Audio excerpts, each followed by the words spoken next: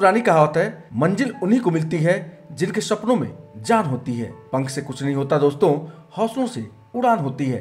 तो आज हम आपको ऐसे ही उभरते हुए युवा सिंगर से मिलवाने जा रहे हैं, जिसने अपनी छोटी सी उम्र में ही अपने हौसले के बलबूते कुछ करने की चाहत लेकर हमारे स्टूडियो में इस उम्मीद पर आए हैं कि हम सभी का आशीर्वाद व प्यार उन्हें मिलेगा और वे गीत और संगीत की दुनिया में अपनी जगह बनाने में कामयाब होंगे। तो बिना देरी के हम आपको मिलवाते हैं इस युवा गायक से, जिन्होंने भोजपुरी सहित तमाम एल्बम में अपने गीत और संगीत से श्रोताओं को मंत्रमुग्ध कर दिया है। तो बने रहिए अपने news channel border news live के साथ, क्योंकि खबर है तो दिखेगी।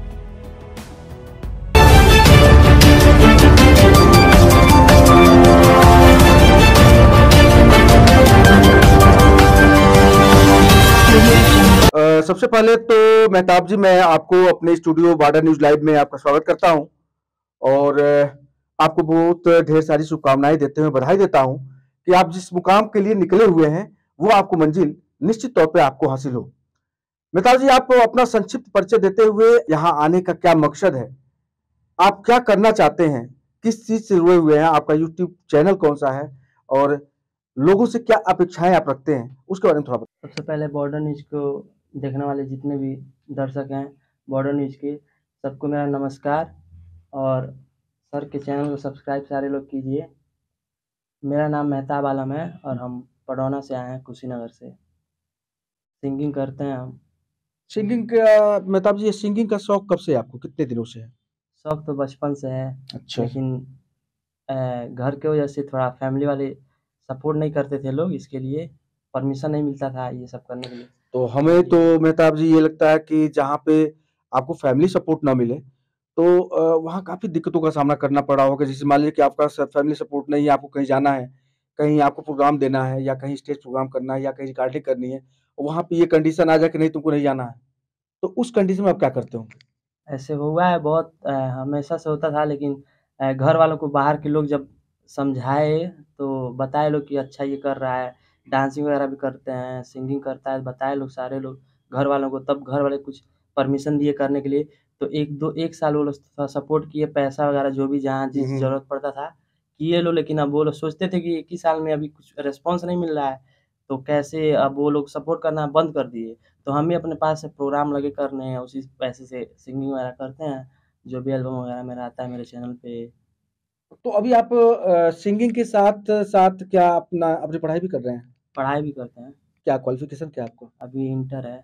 इंटर आपने फाइनल कर लिया? नहीं इस बार अभी इंटर है। इंटर फाइनल है। सेकेंड ईयर है। तो क्या है जो सिंगिंग का काम कर रहे हैं तो उसमें आपको जो आर्थिक परेशानी आप बता रहे हैं पैसे की जो दिक्कत आ जाती है तो उसको कैसे मैनेज करते हैं आप? ऐसे प्रोग्राम करके मैनेज करते हैं। इधर मतलब जो स्टेज प्रोग्राम वगैरह करते हैं। हम्म, तो मेहताब जी आपने अब तक जो है निश्चित तौर पे आप यूट्यूब चैनल पे भी अपना क्रिएशन किए होंगे। तो उसमें कितने क्या रिस्पांस आपको मिल रहा है? रिस्पॉन्स अच्छा आ रहा है चैनल पे मेरे। कितने दिन है तो कितने दिन हो गए आपके चैनल क्रिएट किए हुए? एक साल एक साल तो एक साल तक चैनल तो बहुत पहले मतलब से क्रिएट था बट उस पर कुछ आता नहीं था। आप आप खुद एक्टिव नहीं थे। एक्टिव नहीं थे उस पर तो यहाँ यहाँ आप पडरौना से पडरौना आपका कुशीनगर जनपद हुआ। कुशीनगर जनपद से आप यहाँ महाराजगंज जनपद में आए हुए हैं। तो यहाँ आने का क्या उद्देश्य है? यहाँ आए हैं थोड़ा कुछ हमको रेस्पॉन्स मिले कोई अच्छा प्लेटफॉर्म मिले। जी। इसी वजह से आए हैं इधर। नहीं ये तो ये तो आपने स्थान तो बढ़िया चुना है बेहतर चूँकि ये ये जो लोकेशन है भारत नेपाल के का बॉर्डर है। भारत नेपाल के बॉर्डर पे मतलब आप मित्र राष्ट्र नेपाल में अगर चले जाएँ तो हमको लगता है कि प्रकृति ने वहाँ सुंदरता बिखेरी है। इतना वहाँ नेचुरल जो हमको जो मतलब चाहिए अपने सिंगिंग के लिए अपने स्टूडियो के लिए अपने एल्बम के लिए। वो सारे कुछ वहाँ पे है। बस ये है कि आप अपना क्या बेहतर वहाँ दे पा रहे हैं, डिपेंड उस पर करता है। तो आप बता रहे हैं कि आप सिंगिंग भी करते हैं। तो मेहताज जी मैं आपसे यही कहूँगा, जो अब तक का आपका सबसे बेहतर रिस्पांस रहा, जो जो सबसे बेहतर आपका सॉन्ग रहा हो, जिसे पब्लिक ने काफ़ी रिस्पांस किया हो, पसंद किया हो, उसे थोड़ा गुनगुना के सुनाइए। पहले गाए थे वो सॉन्ग था मेरा जो पहला सॉन्ग था। कितने दिन पहले? पहले जो वो सॉन्ग डाले थे एक साल पहले ही डाले थे सॉन्ग वो अ, उसका व्यूज़ अच्छा गया था। उसका था सॉन्ग कुछ त तोहरा में खूबी ज़रूर बा नाम तोहार पूरा जिला मशहूर बा अरे भोरे भोरे भोरे काहे तू नहालू? का करे कुशीनगर जालू। का करे कुशीनगर जालू।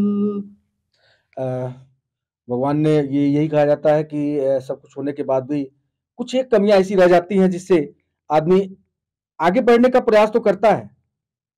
जुनून भी होती है लेकिन कुछ मजबूरियाँ पैरों में बेड़ियाँ डाल देती हैं। तो अ, हम आपके इस मजबूरी को तो नहीं, हम ये कहेंगे कि जो आपकी समस्याएँ हैं। अब वो निश्चित तौर पे आपके निजी नहीं है। एक समूह के रूप में, एक मंच के रूप में, एक प्लेटफॉर्म के रूप में जितने भी आपके सहभागी हैं परेशानी में निश्चित रूप से सहभागी बने और आपका सहयोग करें। और प्रकृति ने जो आपको गला दिया है, मेहताब जी, वास्तव में बहुत ही अच्छा गला आपने पाया है। और हमको लगता है कि कुछ ऐसे गायक, कुछ ऐसे कलाकार, कुछ ऐसे उभरते कलाकार हैं जिनके पास सब कुछ ना होते हुए। मतलब उन्हें गला भी नहीं मिला है। वो बेसुरे हैं। लेकिन उनके पास संसाधन इतने ज़्यादा हैं। उनकी आर्थिक स्थिति ऐसी है कि वो कुछ बेहतर ना करते हुए भी उन्हें बेहतर बना दिया जा रहा है। और लोग उन्हें पसंद भी कर रहे हैं। अ, हमारी तो शुभकामनाएँ हैं बधाई है आपके साथ कि आप निश्चित तौर पे अपने मुकाम की तरफ़ आगे बढ़ें और निश्चित रूप से आपको अपनी मंजिल मिलेगी आपको अपना मुकाम मिलेगा।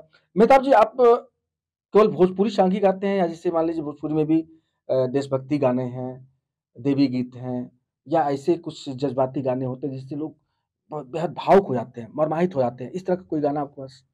है अब मेरा सॉन्ग है एक कि जय जय होला जय करिया, हो पुजरिया नाचेला।